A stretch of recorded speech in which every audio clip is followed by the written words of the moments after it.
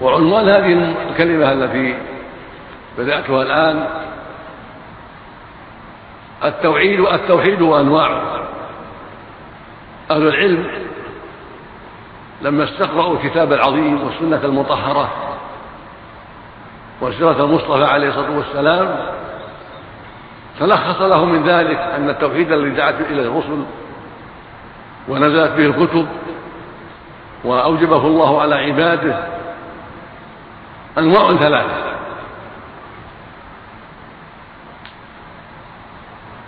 وفي الإمكان أن تجعل واحدة وفي الإمكان أن تجعل نوعين على حسب تعريف بها والتفصيل.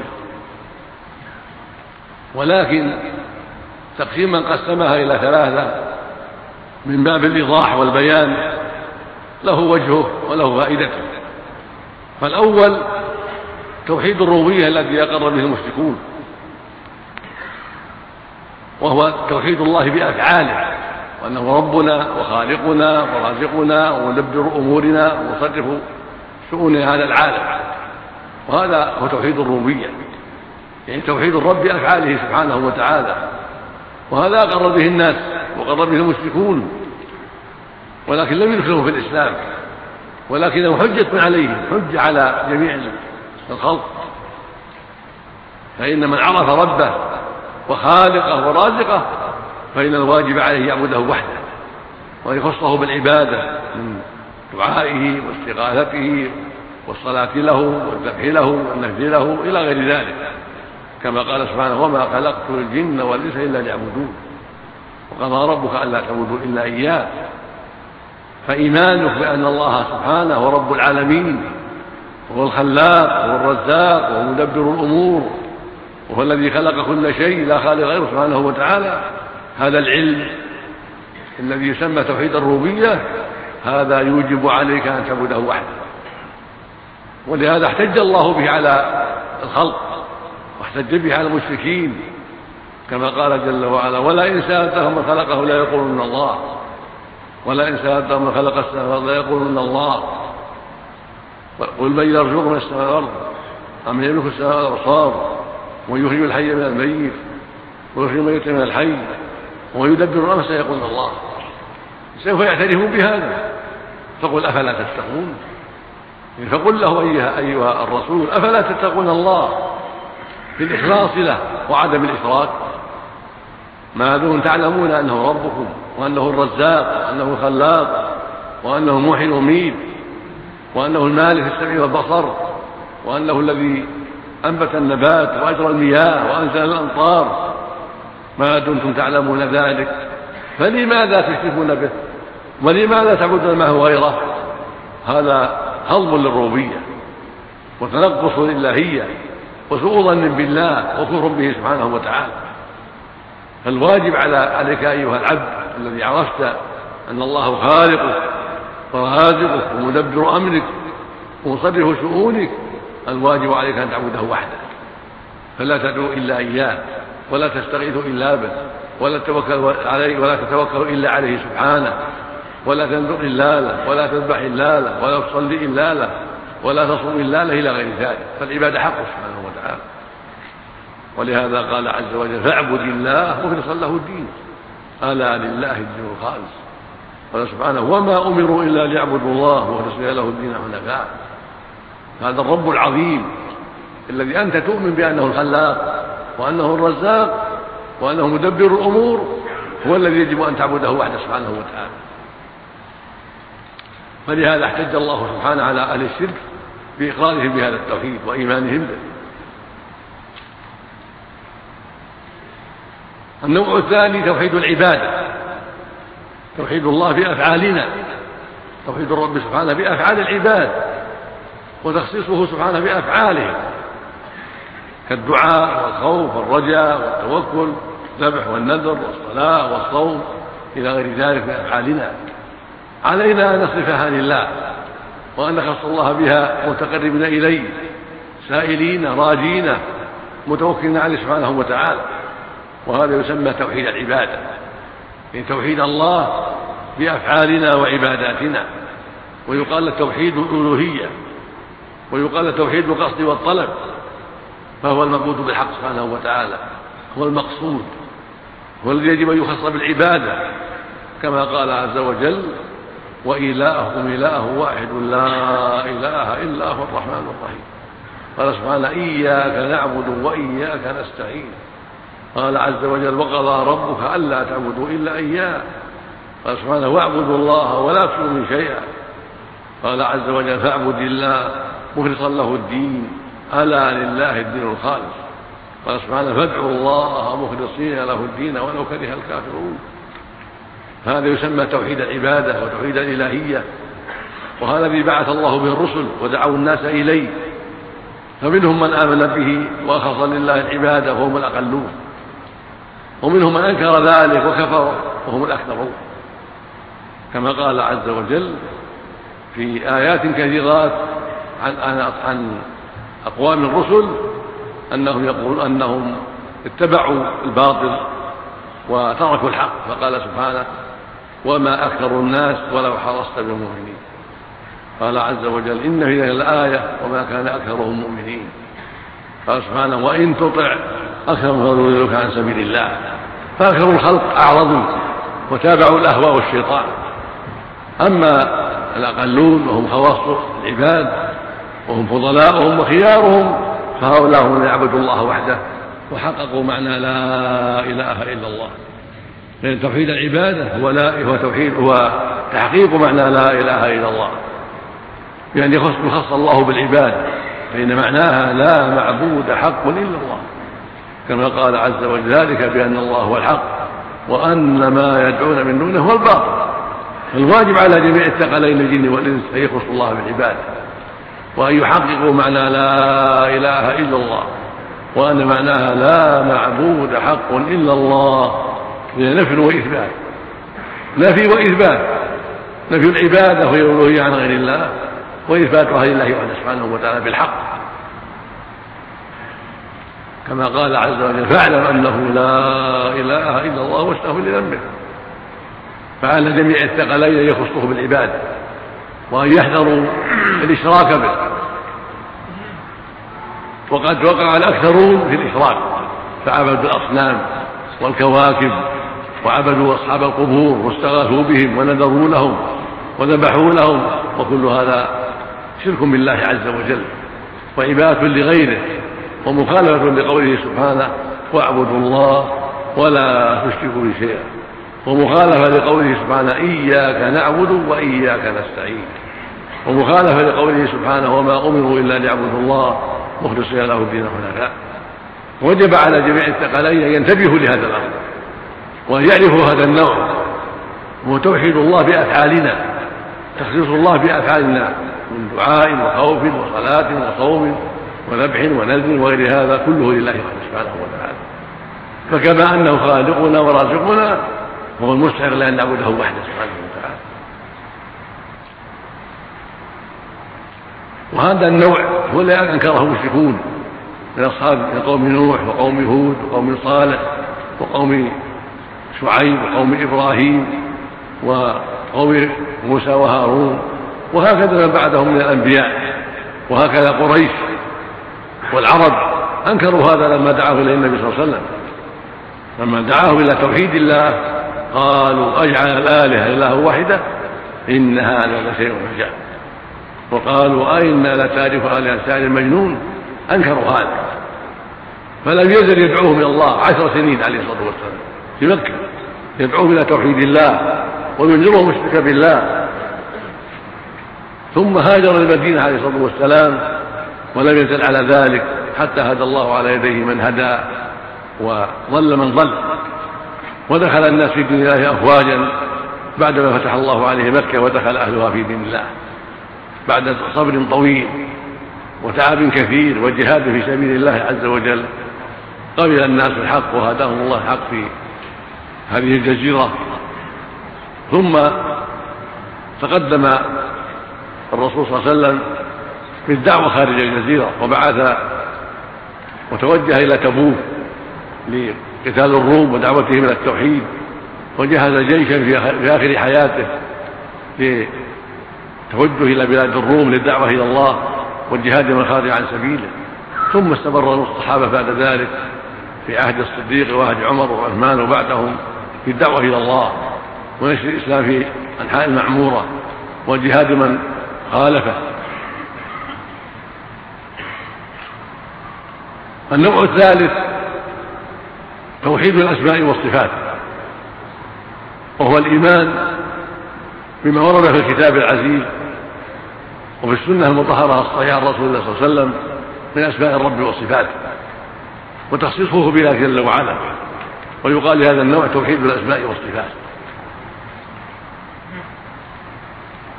وطريق أهل السنة والجماعة وهم أهل الحق. وهم أصحاب النبي صلى الله عليه وسلم وأتباعهم بإحسان. طريقهم في ذلك الإيمان بكل أسماء الله وصفاته الواردة في الكتاب العزيز وفي السنة الصحيحة المطهرة.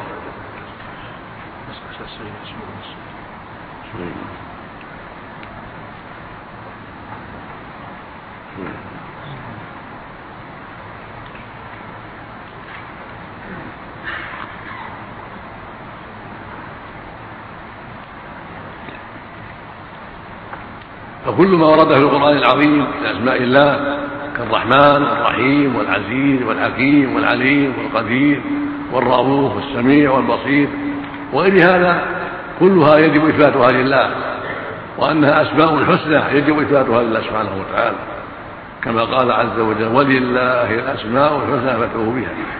وهكذا صفاته من علم وقدرة ورحمة وغضب ورضا. وهكذا استواءه على العرش جل وعلا يكون فوق العرش فوق جميع الخلق سبحانه وتعالى.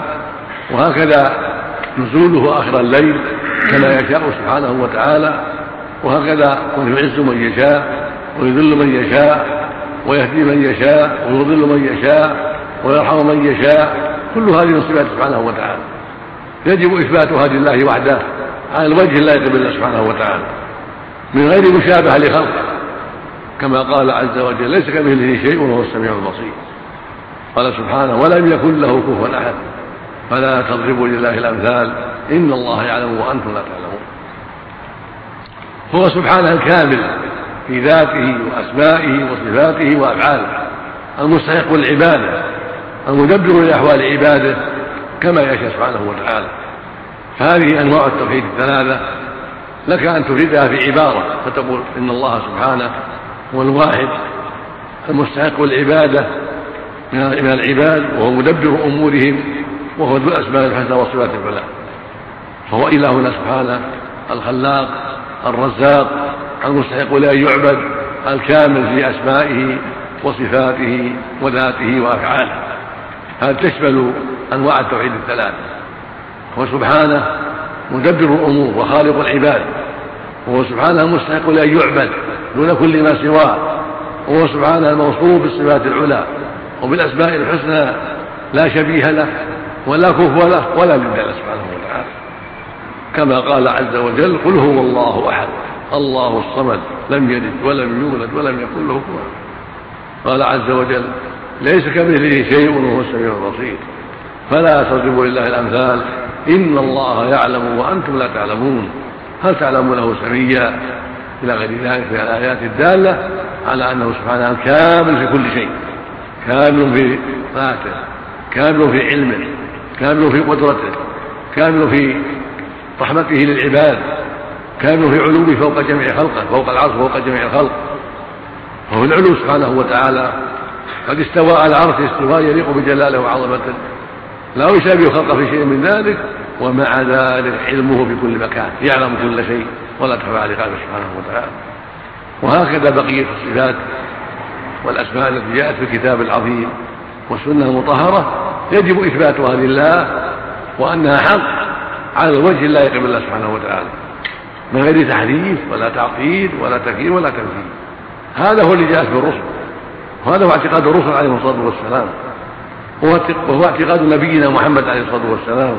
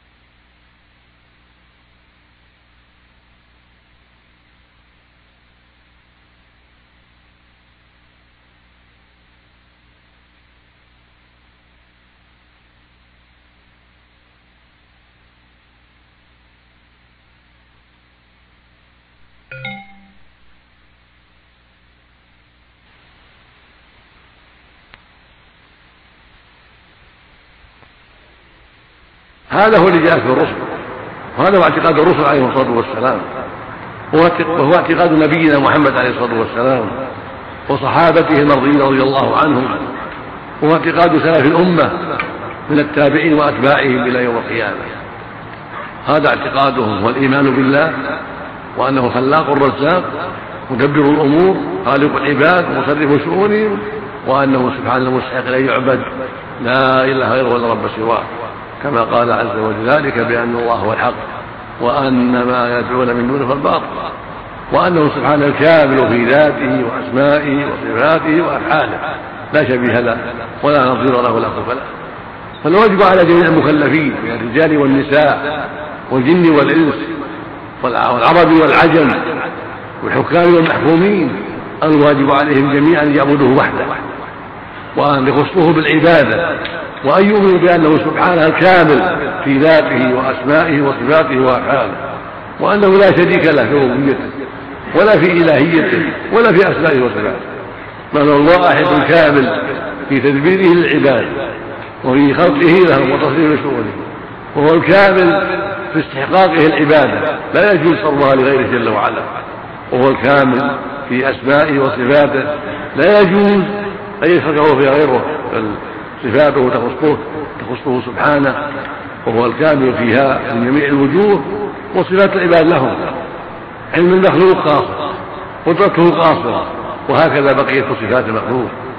أما علم الرب وصفاته فلها الكمال المطلق. لا يعتريها نقص بوجه من الوجوه. فعلمه لا يحده حاد ولا يخفى عليه سبحانه وتعالى. وهكذا قدرته شاملة لكل شيء. وهكذا سمعه يسمع كل شيء هكذا بصره يرى كل شيء وهو يرحم من يشاء ويهدي من يشاء ويضل من يشاء له التصرف المطلق في عباده. على وجه الحكمة سبحانه وتعالى لا لا على وجه العبث والجهل بل عن حكمة وعلم. إن ربك حكيم عليم. إن الله كان عليما حكيما. فهو يتصرف في عباده عن حكمة وعلم وآيات محمودة علمها من علمها وجهلها من جهلها. فالوصية تقوى الله سبحانه وتعالى. والإيمان بهذه الأنواع الثلاث توحيد الربوبية توحيد الإلهية توحيد الأسماء والصفات. وبيان أن ذلك حق الله وحده ليس لغيره فيه شيء. فحقه أنه الخلاق الرزاق المصرف في شؤون العباد وحقه سبحانه أنه المستحق العبادة لا شريك له فيه. هو الإله الحق. الذي لا تجد العبادة لغيره ابدا لا لاصحاب القبور ولا للكواكب ولا للأصنام ولا للجن ولا للأنبياء ولا غيرهم. فالعبادة حق الله وحده سبحانه وتعالى. وإلهكم إله واحد لا إله إلا هو الرحمن الرحيم. وما أمروا إلا ليعبدوا الله مخلصين له الدين حنفاء مع الإيمان بأنه سبحانه الكامل في أسمائه وصفاته وأفعاله لا شبيه له ولا ند له ولا قوة له سبحانه وتعالى. فله فله الكمال المطلق من كل الوجوه سبحانه وتعالى. واساله سبحانه بأسمائه الحسنى وصفاته ان يوفقنا وإياكم للعلم النافع والعمل الصالح وأن يرزقنا وإياكم الاستقامة على على دينه ولا عبادته وحده والإخلاص له سبحانه وترك ما يخالف أمره عز وجل كما اساله سبحانه أن يصلح قلوبنا وأعمالنا وأن يهدينا صراطه المستقيم وأن يصلح جميع في كل مكان وأن يولي عليهم خيارهم ويصلح قادتهم وأن يمنح الجميع الفقه في الدين والثبات عليه. إنه جل وعلا جواد كريم وصلى الله وسلم على نبينا محمد وعلى آله وأصحابه وأتباعه بإحسان.